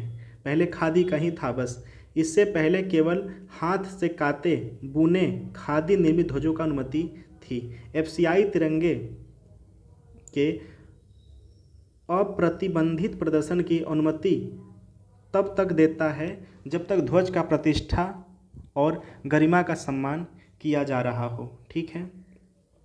इसे तीन भागों में बांटा गया है। तिरंगे का एक सामान्य वितरण, सार्वजनिक और निजी निकायों तथा शैक्षणिक संस्थानों द्वारा प्रदर्शन पर नियम सरकारी और सरकार और सरकारी नियमों द्वारा प्रदर्शन किए गए नियम। सो एवरीबडी टोटल ये पॉलिटी का पार्ट थ्री था। ठीक है? जो कि विजन ठीक है? P T three sixty five का ये सेगमेंट चल रहा था। आज विजन थ्री सिक्सटी फाइव का जो पॉलिटी है, वो पूरा कंप्लीट हो चुका है। सो आई होप कि आप पार्ट वन देख लिए होंगे। पार्ट टू देख लिए होंगे या देख रहे होंगे। आज ये पार्ट थ्री है। अब यहाँ से vision polity three sixty five का जो सेगमेंट हो पूरा कंप्लीट हुआ। अब हमारा जो vision P T three sixty five one year current affair compilation होगा, उसको हम अपडेट करेंगे। सो देखिए कि अगला सब्जेक्ट हम क्या लेकर आते हैं। ठीक है? फ़िलहाल पॉलिटी का एंजॉय करिए और एग्ज़ाम के रिलेवेंट अगर आपको डिस्कशन लगता है तो प्लीज़ आप पार्टिसिपेट करिए और इसका शॉर्ट नोट नहीं thank you so much for watching.